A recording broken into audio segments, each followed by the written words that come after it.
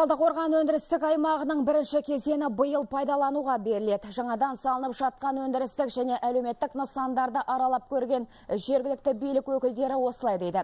Қазір мұнда қажетті инженерлік жүйелер, су және электр желісі тартылып жатыр. Сонымен қатар темір жол мен автокөліктерге арналған жолдар салынуда. Бұл жұмыстарға республикалық және облыстық бюджеттен 5 миллиард теңге көлемінде қаражат бөлінген.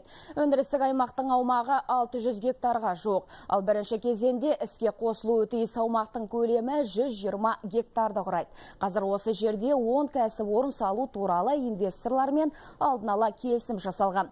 Олар май, сүт, құрылыс материалдары, синтетикалық тазалауға арналған заттар және астық сақтайтын қоймасы бар нан комбинатын тұрғызады.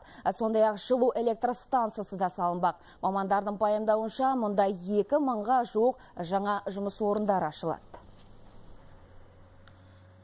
Осы жылы бірінші мынау несін очередін 120 гектарын 600 гектардың соны осы жылы іске қосып бірінші инвесторларды осы жерге тартып жерлерді беріп соларға жағдай жасауға қазір міне жаңа ғана баяндамада естіңіз соның бәрі іске қосылады деп сол жоспарлап отырмыз.